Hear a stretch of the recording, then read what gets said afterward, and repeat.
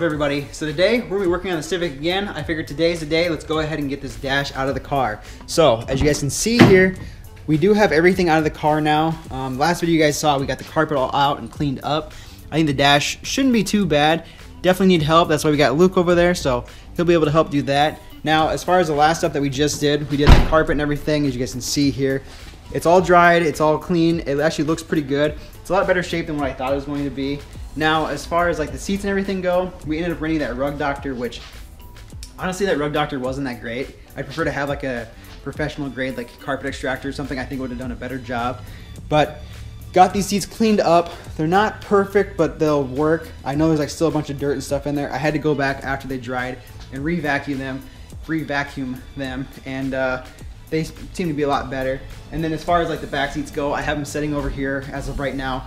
They are cleaned up, but they're definitely going to need to be sprayed or re-dyed just because of how bad the sun fade is on them. So I guess we're going to go ahead and jump into it right now and uh, start doing this dash pull. I figured we'll go ahead and do like kind of a step-by-step, -step, show you guys how to do that. And then once that's all done, we can go and get on to the next project. All right, so the first thing we gotta do is pop off this little cover here. Hopefully I can get this underneath here. There we go. So now you guys can see like the couple of screws that we have to take out. I'm not gonna take them out just yet, but we'll have to do the same thing on the other side. And then I think next we'll be getting out these dash vents. So let's go and hop out, hop over to the other side and uh, get the dash vents out.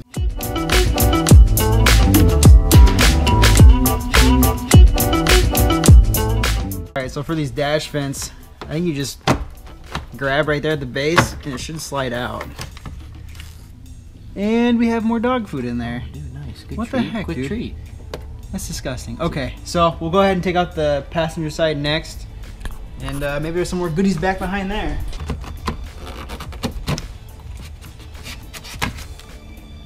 And nothing's behind Oh there. man, no more treats. It's definitely dusty though. Okay, so we went ahead, we got these dash vents, and uh, this piece here, I wasn't sure how this came out, but it just popped out. You just push on it forward here, and the whole thing just drops. So that opens up this tray underneath here. Um, the next thing we need to do is get this glove box out. So it's got these couple of tabs inside here, you guys can see. One on each side, you have to loosen those. I'll show you guys here in a second. And then there's two, um, I believe, Phillips screws underneath there, or just like small 8 millimeter bolts. So we'll get those out, and then we can get the glove box to come out of the way. All right, so the two bolts that are underneath the dash, which I don't know if you guys can see it well enough or not, is right there. So there's this Yeah. one, and then there's one right there.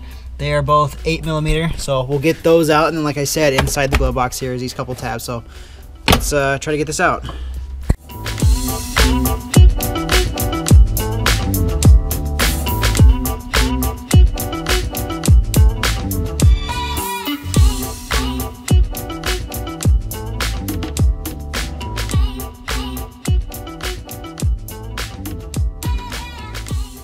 So on this, look over here on this side, see these two little plastic pieces?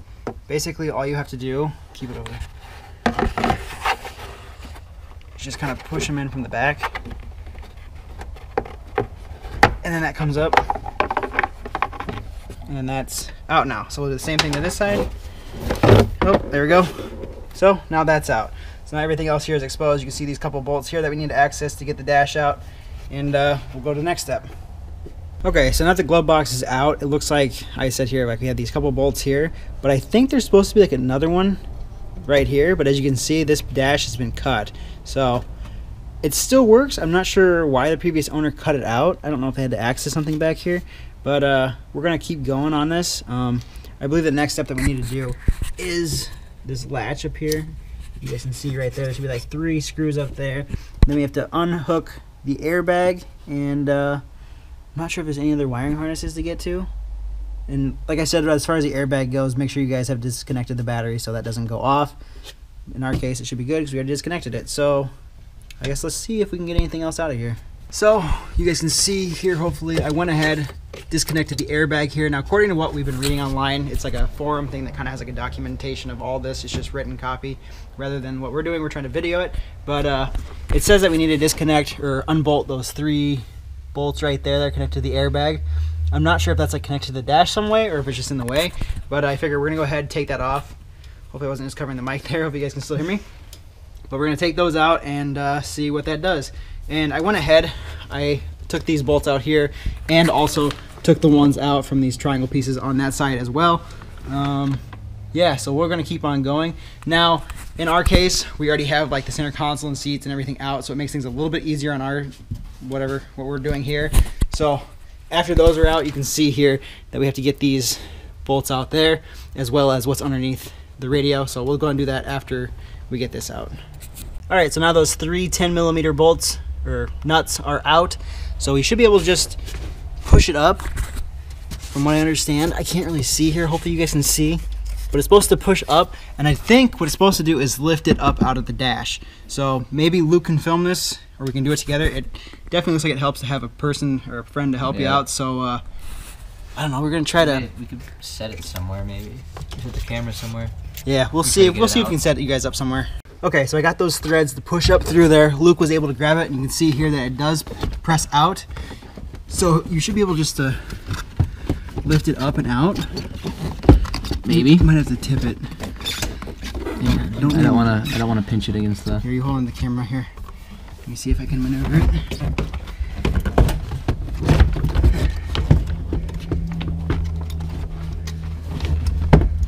Oh man, dude. Yeah, I'm sure. There you go. And the wiring harness is hooked. So good. We're out now. That was probably, hopefully that was like the worst thing to do, but that really sucks. It probably isn't too bad for you guys because you guys will probably still have carpet here and everything. You can get underneath there. And like I said, this car is pretty gross. Yeah. So glad that's out now. So go ahead and go on to the next part, which I think is steering wheel. All right. All right, so like I said, next we're gonna take out the steering wheel. Um, this is all gonna get out of the way. Same thing with like these Socks. yeah, the levers on both sides, the windshield washers, wipers, headlights, and all that stuff.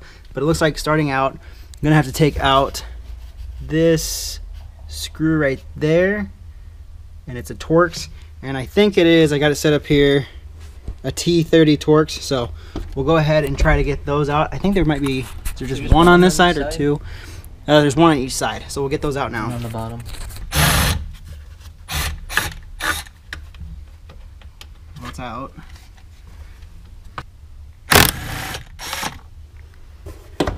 Now this airbag should be able to come out. I got those two screws out like you guys just saw.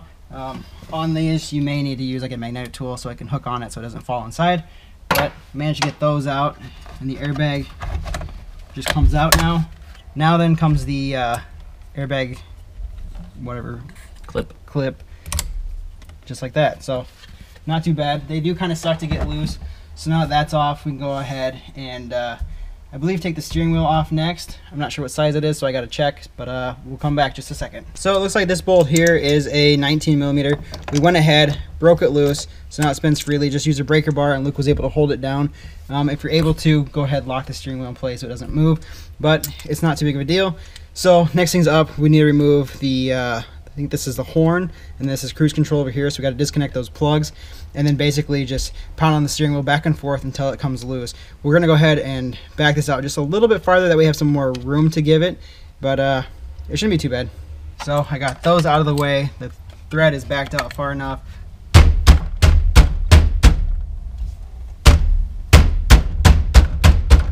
Really? There it is. Okay, so steering wheel is broke loose now. Um, I guess before any of you guys actually do this, make sure your steering wheels are straight because uh, this will alter your alignment and stuff. In our case, I don't really care because I'm just taking the dash. This is just a parts car, so it doesn't matter for me. So now that that's out, all you gotta do is just unthread it the rest of the way. Get these cords out of here. And now that's out. So next up, we can go ahead and start moving the steering column pieces and uh, keep going. So now that the steering wheel's out, it looks like our next step to do is there's one screw here, one screw here, and one back there. They're all Phillips, so this should come out. Um, according to like the instructions that we've read on this so far, it looks like there's supposed to be two other pieces, but we took them out previously when we already did everything. So there's like this lower section here, and then there's one down here by the pedals. We already have those out, so we're free already of that. Otherwise, it's just held on by some plastic clips. You just pull them and it comes down. So we'll go ahead and get these screws out, and then once those are out, it should release these two plastic pieces here. All right, so I think I got all the screws out. There's one back here is still kind of just sitting there, but it seems to be loose. You have to film down Okay. there, but uh, I believe we should just be able to pry this loose here. And uh, we'll use this pry tool here without breaking it. Oh, you know what? Might help if we lowered it down. Is that all the room it goes?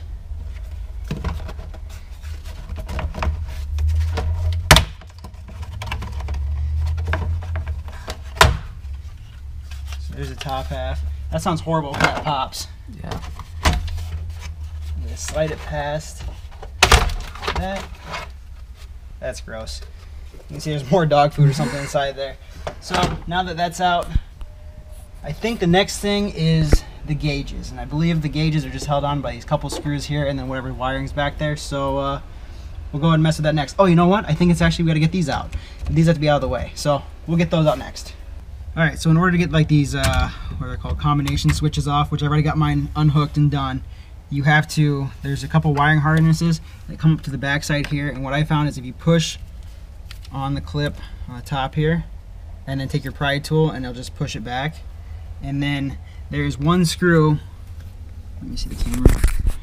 There's just one screw right there. It does not come out all the way, it just loosens up. And when it loosens up, it's just enough so this whole assembly just slides off. So then that's out of the way. So when we go to pull the dash out, it doesn't like it won't get in the way and break any of those, arms off. Now I know we probably won't need those just because the other car has them, but I figure we might as well keep them nice and safe.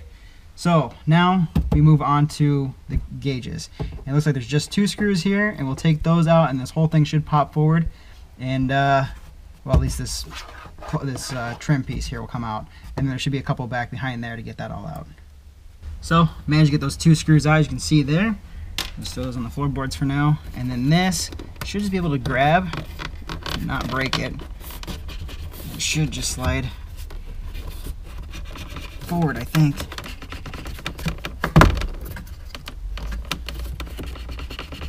Maybe. Alright, well, I'm to keep messing with this. Hopefully I can pop it out. Alright. Yep. So we managed to get this piece out. This is a pain in the butt. You have to like grab at the top, pull it, and it's got these clips here on the backside that need to come straight forward. What I ended up doing was just taking a pry tool and just kind of wedging it underneath here and lifting up. That way it gives enough clearance because it's kind of hooking on the dash over here or like on these edges. There's like a little bit of uh, a divot where it sets. So managed to pop that out. That really sucked. Next up, we've got to get the gauges out. It looks like there's a screw up there and then two down here and then that should just come forward and there should be like a wiring harness we'll have to unclip. So let's try to get that out next.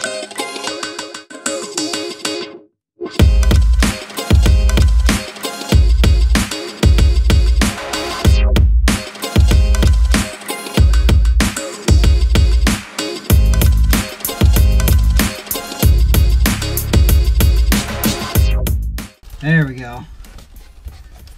So then all we gotta do, disconnect this and this, and it should come out. This is probably the cleanest part of the entire car. Yeah. Except the fact these don't want to come out.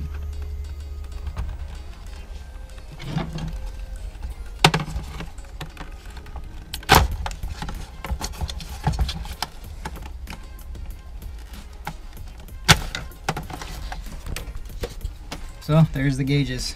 So now that we have this gauge cluster out, we can move on to the next thing. And according to what it looks like for the next thing to do in order is to go and take out this whatever ashtray coin holder thing. And I believe there's just one screw back there that's got to come out and we can disconnect the wiring harness for the cruise, sunroof, mirror, all that stuff from the backside and get that out. So let's try to uh, get that one out next.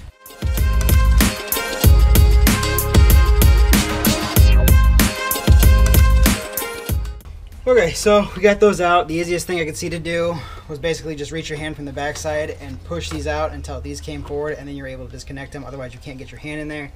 So now that that's separate, we can go ahead and move this wiring harness so it's out of the way. So when we do pull the dash, it's not into anything. And we should be able to leave this piece here, I believe. And it should all just come with the dash because that all looks loose for now. Um, next thing we need to do is the radio trim. And in our case, we already have the center console and stuff all out of here, so we don't have to worry about that. So you can see here, like for the dash and stuff, it is these two bolts here. And then I believe there should be like a couple of screws up in here. Once those are loose, this whole trim piece will come out and then we can disconnect everything from here as far as like the air conditioning and everything, the radio, all that. So now you guys can see here, we ended up taking out this centerpiece where the radio and AC controls are. Um, if you guys have watched my videos before, when we did the radio in the red Civic, you would have seen how to seen how to do this before. But basically, there's two screws when you come up from the back side here. Take those out, and then it exposes this. And all you have to do is take a pry tool, work your way around, and break it loose of all these clips. Um, it is kind of challenging because it is in there tight. And then you just have to basically unclip everything as far as like uh, AC stuff goes and the radio. This one had been messed with. The kid had put a aftermarket head unit in. As you can see there, it had like XM radio and subwoofer wires and stuff. So we had a little bit more of a mess than what you guys might have. Next up, as far as getting this dash out, there's a screw here needs to come out. One right there, one here, and then there's some that are like tucked up behind here. So if you guys look, this little piece here, it's on the back side. There's one there, there is one back behind this side as well as over here. So there's what is that? One, one, two, three, four, five, six, seven, eight, seven of them or eight of them. I think so. So once those are out, this whole dash piece should be able to come out because, like I said, we've already basically gone through and gotten everything out. We already took out the center console. Beforehand, we took the interior out and we took out the A pillars. So this should be the end for us, and then this whole dash should be able to come out. So I'm gonna go ahead and try to get these out. I don't know if I'll be able to show you the ones on the back side, but I should be able to get the ones on the front side. So uh, yeah, I guess we'll just go and try to get these out.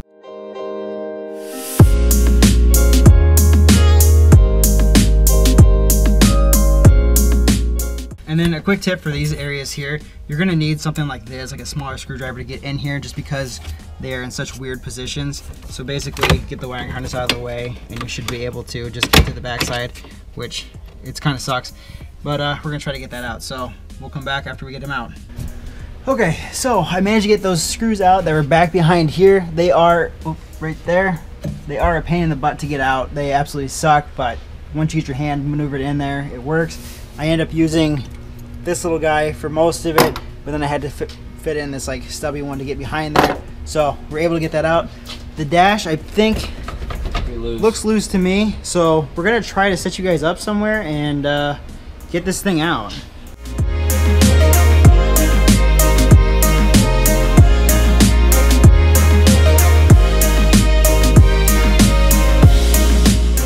So we finally managed to get the dash out. The only thing that we had where it hung up was there's like right here this one tab down below. There was a screw that was still in place, but once we got that loose, everything popped out. So now we can go ahead and show you here what the dash looks like that's out of the car. And uh, I'm super excited to have this out. It's definitely gonna need a good scrubbing. Scrubbing. It's gonna take some time to get it nice and cleaned up. Um, all those little pieces that we just pulled out of the car, like the gauges, the trim pieces, like these lower sections here. I mean, you can just see how like gross and disgusting. I've got one on the floor down there. Gauge clusters. I need to figure out if there's some way to get this cleaned up. We may have to like polish this or buff it, try to get the scratches out of it.